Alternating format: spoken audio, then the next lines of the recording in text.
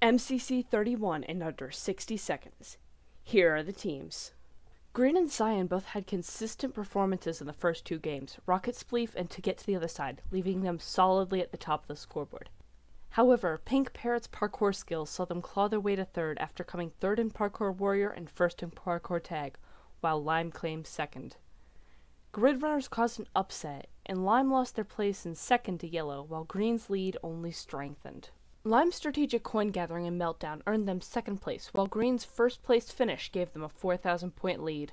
Red conquered survival games, claiming the turbulent position of second, with Lime only a few hundred points behind. Sands of Time was the last hope for many teams to claim a place in Dodgebolt, but Red's lead was enough to hold their place, leaving them to duel Green in the finale. After a tense 1v1 in the fifth round, JoJo Solos fired the final shot and claimed the crown for Red Rabbits. Please subscribe, these videos take a lot of hard work.